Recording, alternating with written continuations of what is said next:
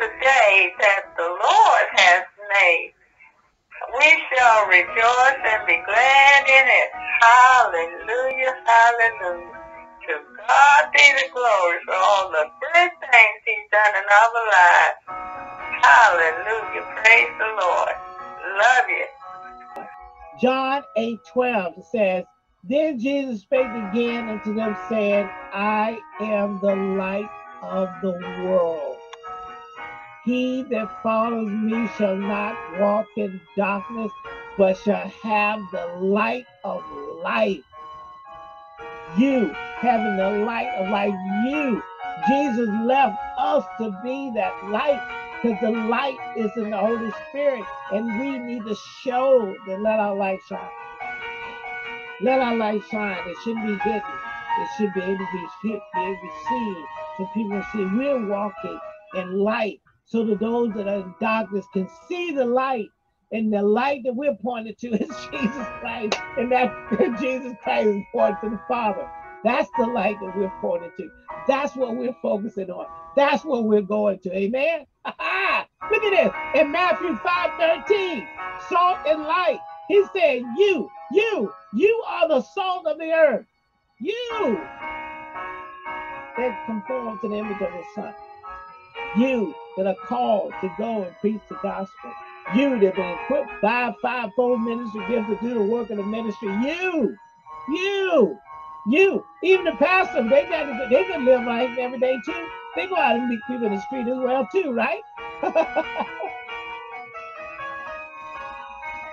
it says right here, you make that personal. Ken Taylor, are you we are, we, there you go, Christian. We are the salt of the earth. Hey, glory to God. But if the salt has lost its savior, where will shall it be salted? It is henceforth good for nothing, but be cast out and be trodden under the foot of men. But you, you, verse 14, you, we, we, glory to God. We are the light of the world. We are the light of the world. Listen what I just said. We are, make it personal, you are, we, the body, the church, the church. Let me come off of this for a second. The church. Listen, listen, I gotta come off this. I want you to see it. You, we are the light of the world. We are the light of the world. The world looks at us. And if we operate, listen, those are uh, God is going to call people to listen to these words. If you operate in darkness and yet you're supposed to be the light, God is saying is that He's you are not representing Him if you operate in darkness, but you call yourself light. If you get look, racism. If you're a racist, whether you're white, black, or brown, you can't not be the light if you're not up. You can't be light and darkness at the same time. You can't hate and be light at the same time. One is it, there's something wrong for any of us to sit there and don't understand our calling. We are the light of the world. And if you are, if you are, you play superiority you play uh, hate, you play uh, being uh, evil, you you're not representing God. You're not representing God. You are the light of the world. That's what you're supposed to be. And if you're the light of the world, how can you hate your brother? Whether he's black, white, or brown. How can you do that? How can you do that? And you're the light of the world. Do you know that means that if you hate your brother, you're not the light of the world? Do you know, Pastor, tell your congregation, tell yourself, that if you hate your brother, you're not the light of the world. You're darkness. You're evil. If you can't forgive one another, then you're not the light of the world. The light forgives people because Christ forgave us. God forgave us through the blood of Jesus. The Holy Spirit wants to call people and reconcile people to the world. And if you're playing hate, if you're playing disqualification, you're not the light of the world. You are supposed to be the light of the world. And if you operate in hate, if you operate in distrust, you operate in criminality, all of those stuff, you're not being light. God wants you to be the light. Don't be a disqualifier.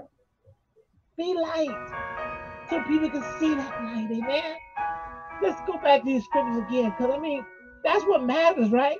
Are you the light? Ask yourself, are you the light of the world? Are we the light of the world? He said, You are you the light of the world? And if you hate people because of the color of their skin, whether they're white or black or brown, and you hate them, are you the light of the world? Are you saying that you're superior and better than somebody because of the color of skin and the nationality of their faith? Are you the light of the world? Are you being the light of the world? You're not. But if you love one another, if you're being light, shining in darkness, that's, that's what you want, right? You want to bring people into the light. Look at this again. In verse 13, Matthew 5 13, you are the salt of the earth. But if the salt has lost its savor, wherewith shall it be salted? It is henceforth good for nothing, but to be cast out and be trodden under the foot of men. You are the light of the world. A city that is set on the hill cannot be hid. Neither do men light a candle and put it under a bushel.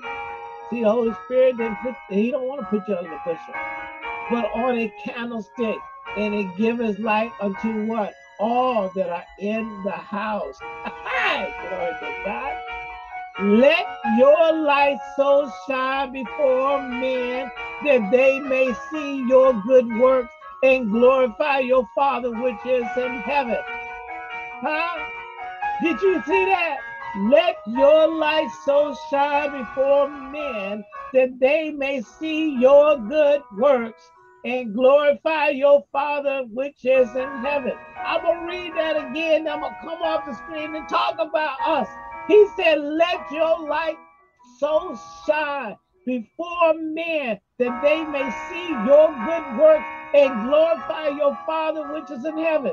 Hey, come on now. Listen. you see, if you're showing hate and, and indifference, if you're showing intolerance, if you're showing that somebody is better, that you're superior to somebody else, because you're black or you're superior because you're white or you're superior because you're brown. You're saying that you're superior. If you're saying that you're better than somebody else, you're not showing and not letting your light shine. You are called to let your light shine before men that they may see your good works so you can glorify your Father in heaven. That's why we get all mixed up we sit there and try to glorify a man. We sit there and try to glorify a pastor. We sit there and try to glorify a congregation. We sit there and try to glorify a race or an ethnic group of people. There's only one race, a human race.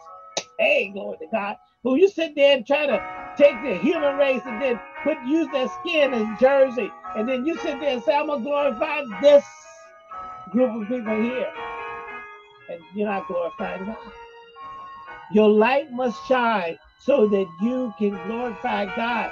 Listen, pastors, ministry is equipping the saints to do the work of the ministry. Your whole purpose of life is to glorify God, equip the saints to glorify God, equip the saints to glorify God.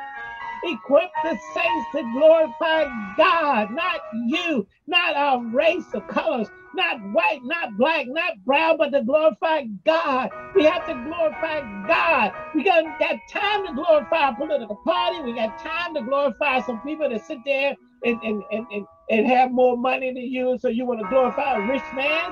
It ain't about glorifying a rich man. It ain't glorifying a, uh, glorifying a black man or glorifying a white man or brown man. It ain't about glorifying them. It's glorifying God.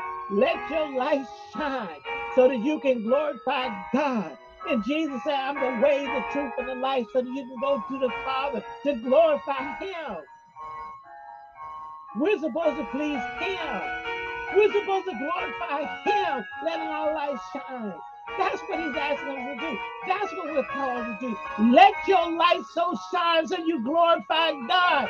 That's the title for that, isn't it? Let your light shine so you can glorify God. Die daily so you can glorify God, not physical for those that got continental thoughts, not spiritual. Let your light shine so you can glorify God. I'm saying it so you can get it in your spirit.